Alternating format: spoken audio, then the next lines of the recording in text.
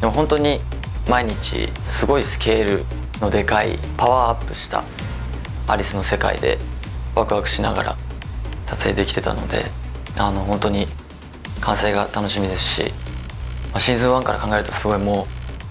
う何年もあったのですごい感慨深いです。ワンカットワンカットが結構大きなこうなんだろう爆発とかウサギも同じような気持ちを体験したんじゃないかって思うような現場だったり撮影でもあったのであの毎日毎日がこうとても尊くてすごく幸せな時間だったなと思います。まあでも本当に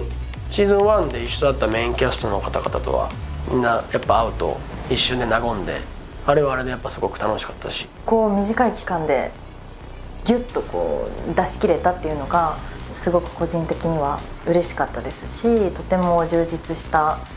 撮影期間でした。僕自身も本当あの待望のシーズン2というかすごくやっぱ僕も楽しみにしていました。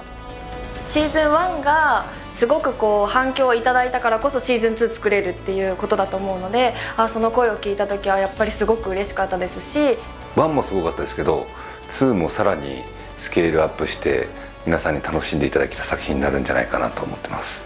いろんな国の方からメッセージが来たり面白かったよって言っていただけることが多くなって今まで役者やってきてこうさらにこう視野が広がったっていうかぜひ一緒にあのアリスやウサギと歩んで生きていただけたらと思います。大丈夫ですか、はい、伝わるかな？本当に楽しみにしていてほしいなと思っております Okay.